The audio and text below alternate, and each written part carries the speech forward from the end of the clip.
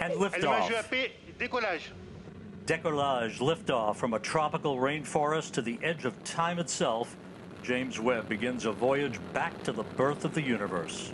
Happy New Year, everybody! I hope you enjoyed the launch of the James Webb Space Telescope on Christmas Day of all days as much as I did. I still can't quite believe that we're like finally here, to be honest. Like, it's been a long time coming. So I just wanted to take um, a few minutes to just update everybody on you know, where the mission is up to, what's going on now, you know, like what's next after the launch. And there's three things that I wanted to, to pick out and mention specifically. The first one is that the estimated lifetime for the James Webb Space Telescope for science is a lot longer than we thought, which is possibly the best news you could have ever received, right? So if you watched the launch on Christmas Day or you watched my live reaction to it midway through cooking a turkey, you will have heard the word nominal a lot from the mission controllers. And I got very excited excited about the word nominal. And the reason why is because the better the launch went, the less fuel that they had to use up. You know, for example, if the trajectory of the rocket or the craft once it was released, you know, wasn't quite on course, they would have had to burn a little bit of fuel to bring it back on course, a course correction. Or for example, if the rocket was rolling or precessing or something like that, they would have had to do a course correction.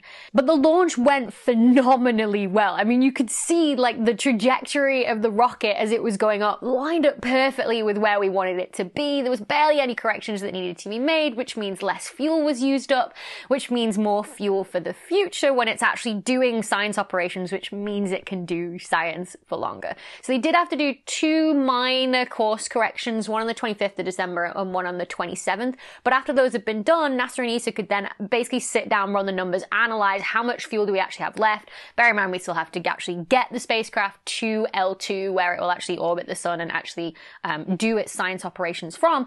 But how much fuel do we have left and, and how much time does that mean that we can run for? And then in early January, they actually announced, and I quote, that James Webb will have significantly more than a 10 year science life lifetime. This is such a huge deal for those of us in the astrophysics like research community, right? Because, and we were told that, you know, in the worst case scenario, well, not the worst case scenario, the worst case scenario would be we'd have like no telescope, but like the best worst case scenario was that James Webb would go for five years, right? And we get five years worth of science observations from it. In the best case, maybe we get 10 years.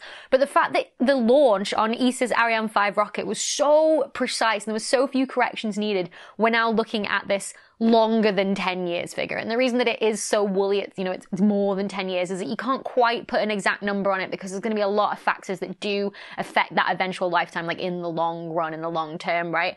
But the fact that they use the phrase significantly more than 10 years suggests to me we could be looking at like 15 years worth of science operations with the James Webb Space Telescope, which would be I mean, amazing, right? It would mean more data for more people, more science get, would get done, and we would learn even more. The second thing I want to mention that was a huge milestone was that one of the detectors, so the instrument on board that is actually going to, you know, record the light that the telescope collects has been successfully switched on in space, right? The first of four instruments to do so. So if you remember from my video on the James Webb Space Telescope, it has four instruments in total. And I actually spoke to Sarah Kendrew, who worked on development of MIRI at ESA in Baltimore. So after speaking to Sarah for that video, it was even more special to hear that MIRI had, you know, not only switched on in space, but also seemed to be functioning okay as well. And that is just the first in many, many, many steps that the MIRI team will take to make sure that everything is functioning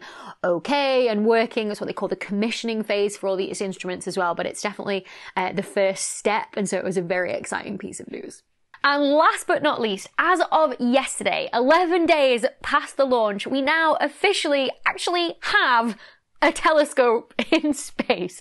Now, many of you are probably confused by that because it's been in space for 12 days now. So what do I actually mean? Well, the James Webb Space Telescope is essentially a double-decker bus parked on a tennis court, right? Just to give you an idea of the scale of this thing. It didn't fit in a little skinny rocket, you know, that's designed to be nice and streamlined to get it up off the ground. So it had to be folded up in order to fit, and it is now unfolding in space.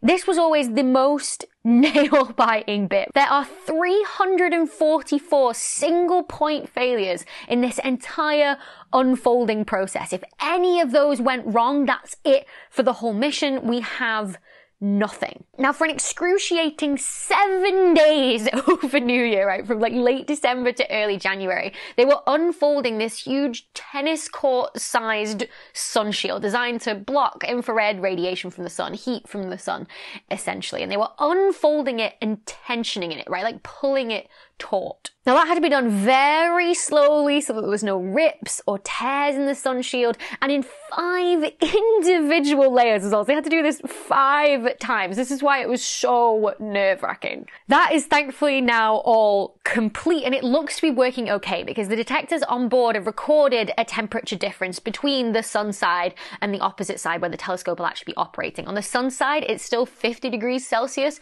whereas on the shielded side where the telescope will be, it's minus 200 degrees Celsius, which is great news. That's what we want, the kind of temperatures that we need. So it looks like the telescope is actually going to be able to operate as intended. After that, the secondary mirror fold out began, right? Essentially a huge tripod that's about 8 meters or 25 foot long, essentially like the length of a big bus, right? And it's got a 75 centimeter wide mirror attached to the end of it that had to unfold into exactly the right position. That all seems to have gone swimmingly as well, and NASA announced it last night. It was possibly the best news you could get on a random dark Wednesday evening in January. And now that's folded out, we actually have something that's going to behave like an actual telescope. It is a telescope now that's folded out, right? Light can actually come in, bounce off what we call the primary mirror. That's, you know, the first point of contact that the light has with the telescope, bounce to the secondary mirror and then get focused down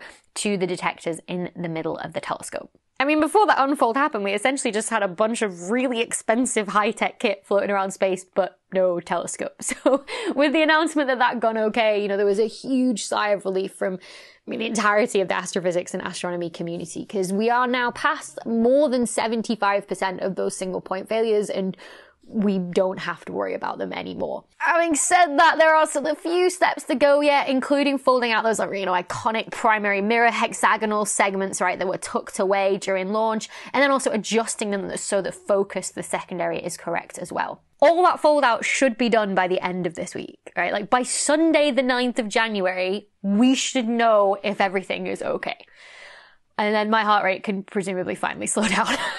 If you want to follow all this, NASA has a great website where you can see the timeline of the mission, know what distance it's at from Earth and from L2, and what stages are left to go in the foldout. I'll link it down below for you. Plus, there's usually a live stream for all these different stages of foldout, you know, all the different milestones as well. You can see what's going on in Mission Control Room, and they're usually on NASA's YouTube channel. I've actually got notifications on the NASA Webb Twitter account so I don't miss them when they're happening. I will have another update on JWST for you in two weeks time on my Night Sky news episode for January. So keep an eye out for that because by then we're going to know, you know, how this mirror segment adjustment has gone and if everything's okay.